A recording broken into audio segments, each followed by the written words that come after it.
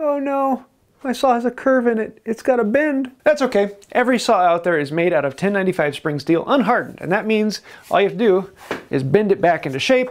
It's one of the great things about spring steel is you can really, really bend it before you cause any damage.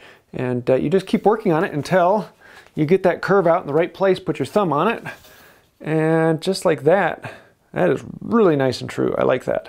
If your back saw has a curve in it and it's a pinched back, then all you have to do is one good whack on the bench, making sure you hit the whole back at the same time. And that will recess the saw down into its place and straighten it out.